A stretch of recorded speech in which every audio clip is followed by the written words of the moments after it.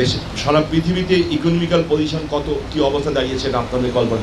যেই এলপিজি দাম ছিল ফোর পয়েন্ট ফাইভ ডলার সেটা এখন হয়ে গেছে forty two dollar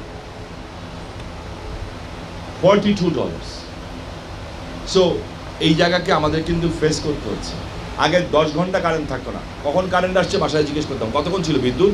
তো এক ঘণ্টা ছিল। বলতাম, এক ঘণ্টা ছিল? অবাক হয়ে যেতাম এখন এক ঘণ্টা যায় দেখে কত খেপে যাচ্ছে। সে প্রিকুয়েশনস প্রিকুয়েশনস কি প্রিকুয়েশনস যখন জলোচ্ছ্বাস হয়, বন্যা হয়, আমরা যখন শুনি যে দশ নম্বর বিপদ সংকেত, নয় নম্বর বিপদ সংকেত, তখন কী করি? ওই এলাকার সমস্ত মানুষকে নিয়ে এসে একটা আশ্রয় কেন্দ্রে নেই। এইটাও ঠিক একটা প্রিকুয়েশন করে রাখা হচ্ছে। বিকজ ওই রিচ কান্ট্রির সাথে আপনি দাম দিয়ে কিনে পারবেন না। এটা যা, এই এলপিজির দাম যখন একশো ডলার হয়ে যাবে, পার ইয়ে সাড়ে চার ডলারের মাল একশো ডলার ইউরোপ কিনে দিতে পারবেন। But we can't buy so আমাদেরকে প্রিকশন নিতে হবে। এবং এই সমস্যা আগামী চার মাসের মধ্যে সমাধান হবে। আমরা নতুন করে পাঁচ হাজার মেগাওয়াট আসব।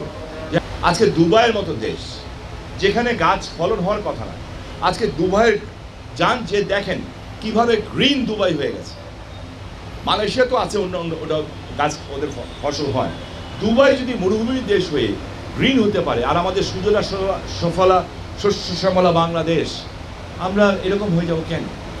তবে এখন অনেকে দেখি ভালো লাগে, বাসার ছাদে ছাদে গাছ লাগায়। খুব সুন্দর লাগে দেখতে। ওনারও ভালো হয়, উপকার হয়, আর এই গাছ কিন্তু ফলন দেয়। পয়সা দেয়, টাকা দেয়, উপার্জন দেয়। এমন না যেটা আপনার কস্টিং হচ্ছে এই আপনাকে রিটার্ন দিবে। আপনাকে রিটার্ন অনেক কিছু দিবে। আপনাকে সুস্বাস্থ্য রিটার্ন দিবে, আপনাকে অক্সিজেন দিবে, এবং ইভেন্চুয়ালি আপনাকে ইকোনমিক্যালি ব্যাকআপ দিবে। যে রাস্তার পারে যে অবস্থাটা হচ্ছে, ময়লার স্তূপ, মরা গরু শুদ্ধ পড়ে থাকে। মানুষ কিন্তু একটু দেখে। এমনি মানুষ দেখে। আমরা মানুষ প্রশ্ন করে কিন্তু। বন বিভাগের থেকে গাছ বিনা পয়সায় বিতরণ করা হয়। আমার আমার অ্যাকাউন্টের মধ্যে কিন্তু যা জমে আছে, আমি লাগানোর জায়গা পাইনি।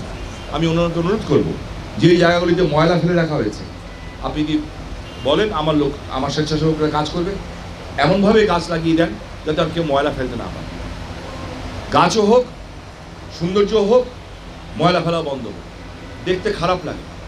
পরিবেশ দূষণ হয়।